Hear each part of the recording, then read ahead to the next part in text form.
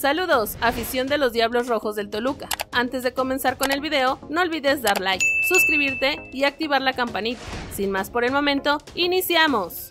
En Toluca no ven mal un regreso de Alexis Vega. En Toluca reconocen que Alexis Vega ha tenido ciertos problemas, pero no ven con malos ojos un posible regreso del jugador. En el tema de Alexis, creo que es un jugador de mucha calidad. Si bien ha tenido ciertos problemas últimamente, es un jugador que a cualquier equipo le aportaría algo diferente, así que bienvenido si llega, indicó Marcel Ruiz. El juvenil alcanzó un acuerdo para renovar con Toluca hasta el 2027 y reveló que el club está abierto a negociar una probable salida a Europa. Tanto Toluca como yo estábamos en la misma página de que queríamos seguir teniendo una relación y ambos llegamos a la conclusión de que lo mejor para mí es salir a Europa, no a un club de México. Ellos están dispuestos a apoyarme en cierto sentido para la cláusula, que hay un chance para salir en algún momento y estoy muy agradecido por la confianza, dijo. La escuadra del Toluca se encuentra ultimando detalles de su preparación para el encuentro de este viernes frente a los Gallos de Querétaro en la corregidora, en lo que marcará su debut dentro del clausura 2024 de la Liga MX. Por otro lado, Marcel Ruiz desmiente rumores sobre un posible interés de las Chivas. El mercado de fichajes en la Liga MX se sigue moviendo y hay algunos equipos que han comenzado a blindar a ciertos jugadores para evitar que dejen a sus instituciones a días de que arranque el Clausura 2024 o ya con el torneo iniciado. Uno de esos que renovó contrato fue Marcel Ruiz, mediocampista de los Diablos Rojos de Toluca, quien, ante los rumores que lo ubican cada torneo en las Chivas Rayadas del Guadalajara, aclaró su futuro una vez que se confirmó su extensión con el equipo choricero. Fue más una cuestión de que tanto Toluca como yo estábamos en la misma página, que queríamos seguir teniendo una relación. Yo quería estar acá y ellos querían que yo estuviera acá y ambos llegamos a la conclusión de que lo mejor para mí sería salir a Europa, no a un club en México. Es la decisión en la que ambos estuvimos de acuerdo. Ellos estuvieron dispuestos a apoyarme en cierto sentido con el tema de la cláusula. No voy a entrar en más detalles, pero si hay opciones para salir en algún momento, estoy agradecido por la confianza y espero poder devolverla, detalló Marcel Ruiz detalles sobre su renovación. Por último, la probable alineación del Toluca para su debut en el Clausura 2024. Para el 2024 la directiva Escarlata tomó la decisión de confiar el futuro del club en las manos del director técnico portugués Renato Paiva, quien ya había estado en el fútbol mexicano en su pasado con los Panzas Verdes de León. El 11 titular que podría mostrar el Toluca para el Clausura 2024 es el siguiente. En el arco, el guardameta estrella brasileño Thiago Boulpi se mantendría, ya que es uno de los pilares de los Diablos Rojos sobre el terreno de juego, además de ser de los más experimentados en el fútbol mexicano. En la defensa estarían las primeras modificaciones, ya que causó baja al defensa central colombiano, Andrés Mosquera en la capital mexiquense, pero contrataron a Federico Pereira, uruguayo de 23 años desde el Liverpool de su país, quien se prevé que sea titular junto al chileno Valver Huerta. En la lateral derecha estaría Brian Guamerú García y en la izquierda Mauricio Isaís. La media estaría conformada por el seleccionado nacional mexicano Marcel Ruiz, en compañía del experimentado chileno Claudio Baeza, quienes ya tienen par de torneos siendo los dueños de dichas posiciones. En la delantera los rostros elegidos por Renato Paiva serían Jesús Canelo Angulo en una posición de 10 o mediocampista creativo por la banda izquierda Maxi Araujo, el jugador uruguayo que ha tenido grandes momentos con la selección charrúa y por la derecha el joven mexicano Juan Pablo Domínguez, quien fue uno de los mejores jugadores del Toluca en la segunda mitad del 2023 y como eje de ataque el delantero paraguayo Robert Morales, quien llegó hace seis meses a la Liga BBVA MX y se espera que aumente su cuota goleadora.